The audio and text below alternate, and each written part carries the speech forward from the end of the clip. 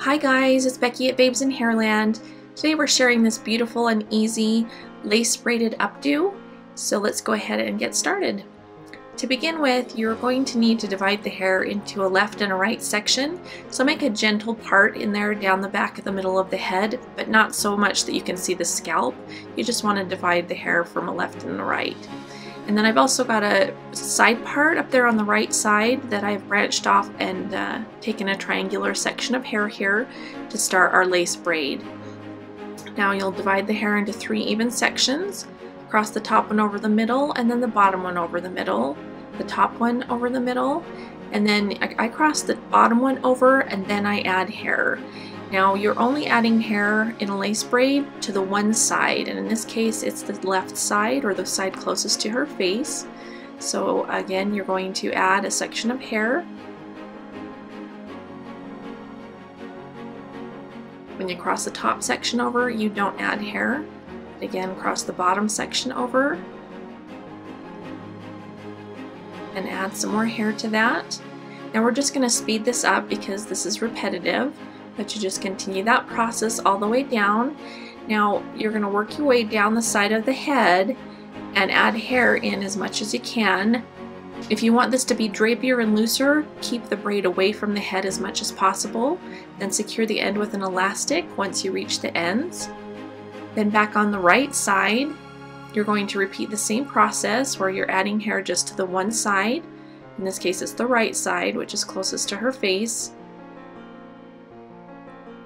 adding hair as you go down until you run out of hair to add and then just create a regular three strand braid with the remaining hair and secure the end with an elastic.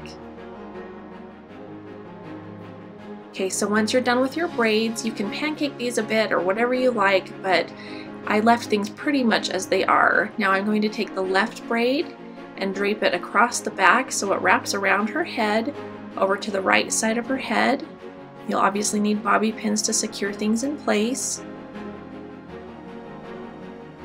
And depending on the length of hair you're working with, if it's shorter, it's a little bit easier for this, but it still worked with her hair at this length, which is kind of a medium length. Okay, then you'll take the right braid and kind of drape it over and on top of the left one. And again, this can be a really tight style or a loose drapey style. There isn't a right or wrong way to do this. Just lay that braid up on top. So that's the right braid draped up over the left one here on the side and anchor it with bobby pins. So hopefully the bobby pins don't show. Now I'll show you how I combat the longer tail here.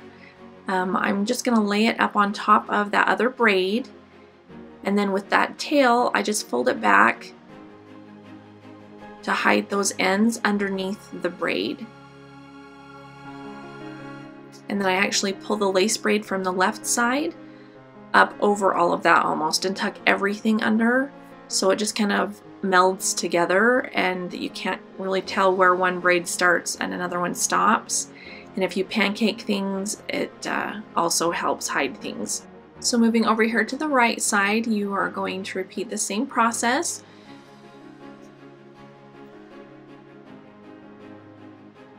Bobby pin things as needed and then take that tail and flip those ends under, tuck them under the braids so that they aren't poking out and secure that with bobby pins as you need. And again, just kind of pull on things and adjust it as you need. Then back here on the crown, pinch and pull the hair up a little bit so it's not so flat. This is perfect for a spring wedding or any other special occasion. It's simple, but it's beautiful. And if you stay tuned, I've got pictures showing how we dressed it up with a couple different accessories, but that's really all there is to it. Here's a final spin and look at this gorgeous updo. You can make things as drapey and loose in the neck as you desire as well. Just depends on the look you're going for. So thanks for watching and please be sure to subscribe if you haven't and give us a thumbs up if you like updos.